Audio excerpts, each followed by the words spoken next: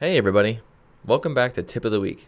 I'm Dylan with ON1, and in this weekly video series, I'm going to show you tips and tricks that I've learned using ON1 Photo RAW 2018.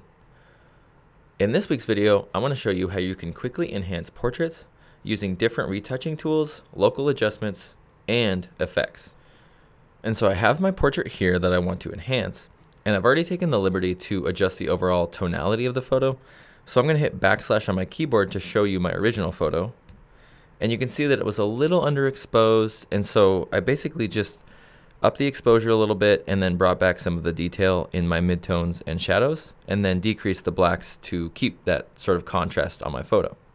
So now that I have my base look on my photo, now what I can do is I can start enhancing it. And the first thing I want to enhance are the eyes and the teeth. So a quick way to enhance eyes on a portrait is your local adjustments. So if I head over to local adjustments here, you'll notice that this new local adjustment layer has a bunch of different controls that I can use to enhance specific areas on my photo. What I like to do is I like to use these different styles up here. And what I'm going to do is I'm going to go to more styles and I'm going to select Magic Eye Fixer. Magic Eye Fixer is going to increase the exposure a little bit, add a tad bit of contrast, and then some detail to make the eyes pop. Now if I zoom in on my photo here by hitting Z on my keyboard, now I can head to my masking brush, and if I decrease the size of the brush by using the bracket keys on my keyboard, I can simply paint in where I want this adjustment to be applied to.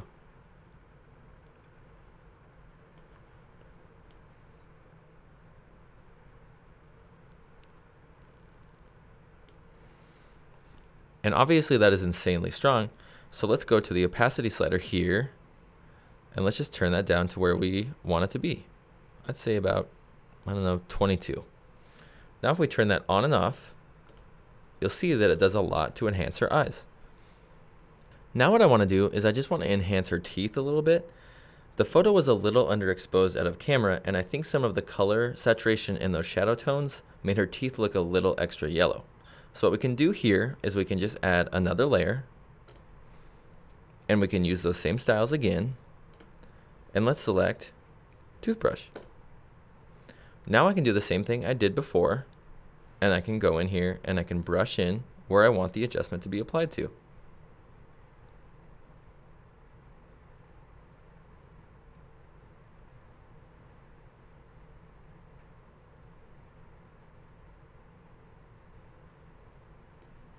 Perfect. Now that's pretty strong as well, so let's just turn down the opacity.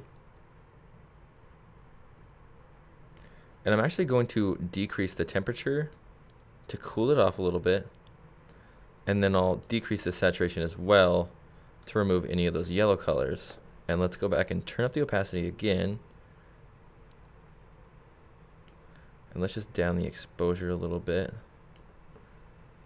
And if I turn it on and off, you'll see that it does a lot to her teeth to enhance them and make them look a lot more white. Another great way to enhance portraits using local adjustments is to add in light on specific areas of your portrait. So see this area right here in her photo seems a little bit dark to me. So I can quickly add a new local adjustment layer and I'll make sure this one's set to lighten.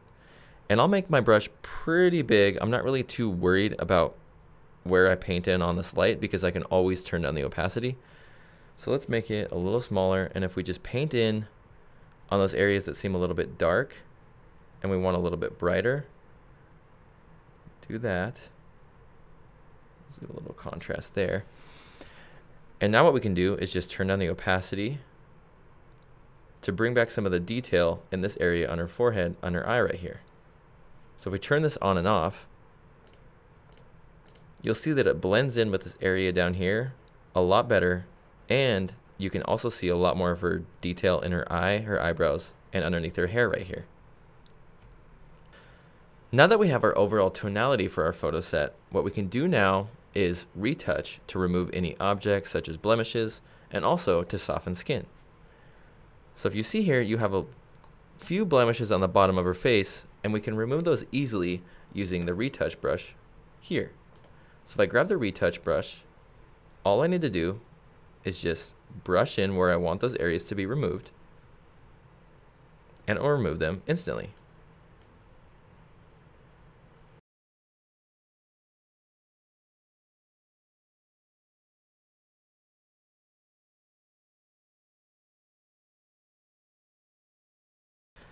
So now that we've retouched her face a little bit to remove some of the blemishes, what we can do now is go into effects.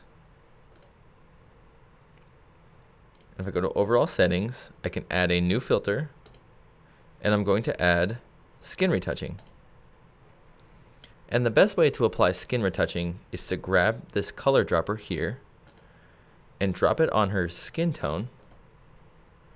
And now if you apply the strong style, you'll see that it does a ton to smooth up her face. I like to put on the strong style so that I can see where it's applied. And then what I do is I head into the masking options here and I invert the mask so that I can paint on where I want the skin retouching to be applied. So now that I have this inverted, I can use my masking brush and I'll decrease the size of it and I'll just paint in where I want the skin retouching to be applied.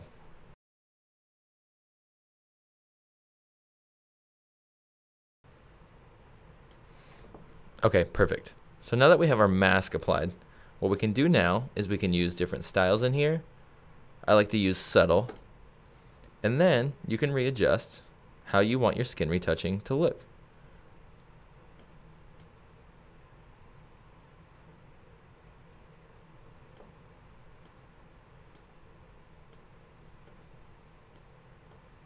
So let's turn this on and off. And you'll see it does a lot to smooth her skin on her cheeks, on her nose, on her forehead, without smoothing any of her teeth or her eyes or her hair. So now I'm going to zoom out. And if I hit the backslash key on my keyboard, you'll see that in not a lot of time, we've really enhanced this portrait using local adjustments, a retouch brush, and one effect. That's my tip of the week. Thank you for watching and stay tuned for more.